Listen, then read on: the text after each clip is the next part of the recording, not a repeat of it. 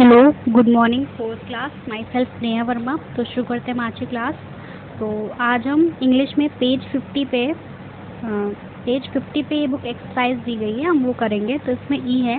Question fill in the blanks with adjective in the sentence and state its kind in the blank given ahead तो यहाँ पे आपको executive fill करना है और आपको बताना है कि कौन सा एग्जेक्टिव है। कौन से काइंड ऑफ़ एग्जेक्टिव है ना, वो है। तो पहला है there are very dash water in the bottle तो इसमें आएगा वेरी लिटिल वाटर और ये है ऑब्जेक्टिव ऑफ़ क्वांटिटी क्योंकि इसमें क्वांटिटी शो कर रहा है ना, कि कितना पानी है तो ये क्या चला रहा है objective of quantity then second है dash boys participating in the function तो इसका आंसर है some boys are participating in the function and ये है objective of number then third है a sharp knife cuts the vegetable easily तो ये कैसा है एडजेक्टिव ऑफ़ क्वालिटी क्योंकि यहाँ पे नाइस क्वालिटी पता चल रही है ना, बता रहे ना। देन फोर्थ है which house belongs to Anil तो ये है इंट्रोगेटिव जो which word whose which word whose ये सारे वर्ड्स कैसे होते हैं? इंट्रोगेटिव होते हैं।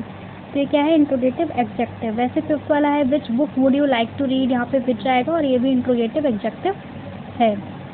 देन है I have only dash pencil in the box यहाँ पे one two three four few many so some लिख सकते हो आप। तो मैंने यहाँ पे फोर लिखा है और ये कैसा एडजेक्टिव है adjective of number then seventh these man are playing football तो ये कैसा है? डिमोस्ट्रेटिव एग्जेक्टिव यहाँ पे क्योंकि यहाँ पे क्वेश्चन रोज होता है कि दीज मैन है ना?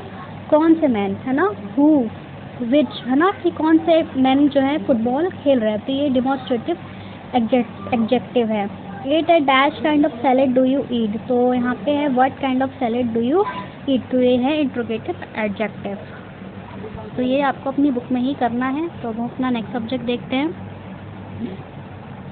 हिंदी में आप पाठ विशेषण के प्रश्न उत्तर करोगे तो पहला है विशेषण किसे कहते हैं? तो इसका उत्तर है, जो शब्द संज्ञा या सर्वनाम की विशेषता बताते हैं, उन्हें विशेषण कहते हैं। सेकंड है, विशेष्य को उदाहरण से समझाइए। तो इसमें है, जिन शब्दों की विशेषता बताई जाती है, उन्हें विशेष्य कहते हैं। जैसे कि आम मीठा है तो यहाँ पे आम है हमारा विशेष और मीठा है विशेषण।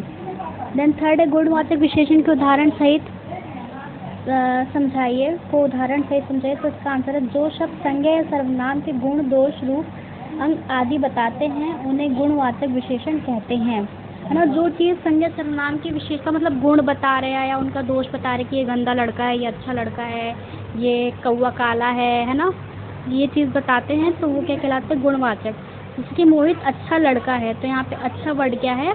मोहित लड़का जो है मोहित की क्या बता रहे हैं? गुण बता रहे हैं ना? तो इसलिए गुणवाचक विशेषण है। तो ये आपको जो है अपनी नोटबुक में ही करने हैं क्वेश्चन आंसर्स तो अब हम अपना नेक्स्ट सब्जेक्ट देखते हैं। देन ई ईवीएस में आप चैप्टर नाइन करोगे डिफाइन उसके क्वेश्चन आंसर्स इसमें पहला है डिफाइन द टर्म कंक्रीट इसके तीन क्वेश्चन आंसर्स आप पहले कर चुके हो. तो तीन बच रहे थे, वो हम कर रहे हैं. डिफाइन द टर्म कंक्रीट तो इसका मीन्स है concrete refers to a mixture of cement gravel and water then second है what are slums what are the problem face the slum dwellers?